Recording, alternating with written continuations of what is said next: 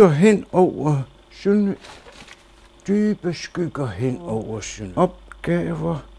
Ja, vi har jo allerede i disse dage nedsat H.P. Hansens historiske tale på Folkehjem i Åben Rå i 1918 var optakten til Sønderjyllands genforening med Danmark.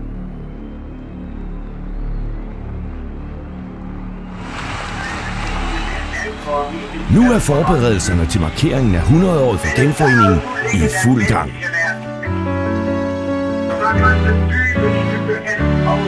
Se her, hvordan et smukt byrum vokser frem foran folkehjem.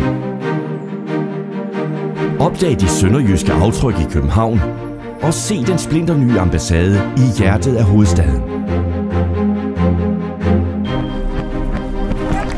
Snør skruene, og oplev historien i et stort folkeligt motionsløb. Den vestlige del af den gamle grænse har spændende historier at fortælle. Højt over Kongeåen ligger skibet Lund Krat. Den scene sætter vi på ny. De unikke dokumenter fra dengang digitaliseres og gøres tilgængelige. Hej, mit navn er Anders Olling, Jeg hedder Hans Erik Havsten. Og vi er redaktører på Politikken Historie og værter på podcasten Kongerækken. En helt ny opera om H.P. Hansen spilles ved festlige lejligheder.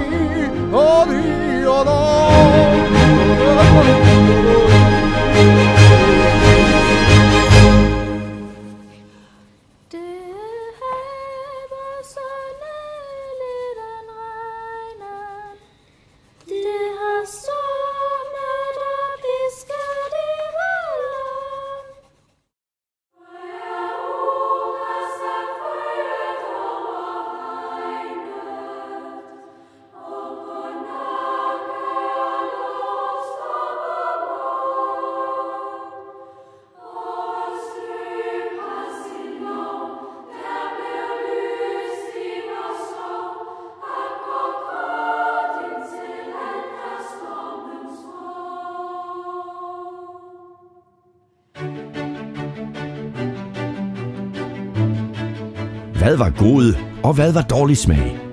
Kampen mellem dansk og tysk foregik på alle niveauer.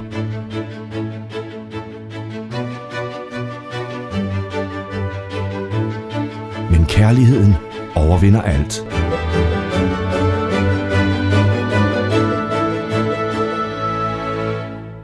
Hej med jer. I 2020 krydser jeg Kongeåen og kører til Sønderjylland i den her murbrækker, så vi kan lære Sønderjylland at kende den her fascinerende egen, som jeg synes skal genforenes med, med Danmark for alvor. Et stort folkemøde samler os i Ribe.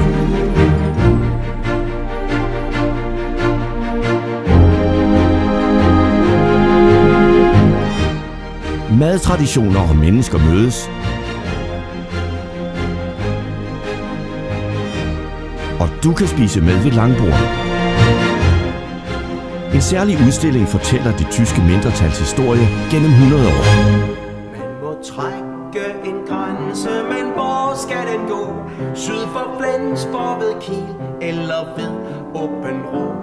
Uanset hvor den går, er der meget på spil, for i hjerterne ved vi, hvor vi hører til. Jeg glæder mig til at fortælle den spændende historie om genforeningen, både i bogform og ved live-koncerter rundt i hele landet, for store og for små.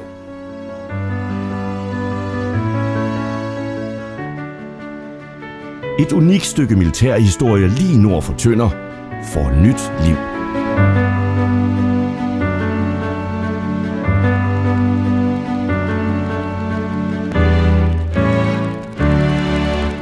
Bak op og vær med til at løfte 100-året for hele Danmarks genforening.